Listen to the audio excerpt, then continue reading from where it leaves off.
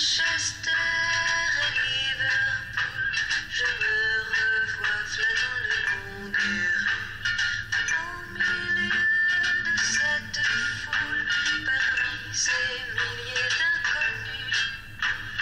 Manchester et Liverpool, je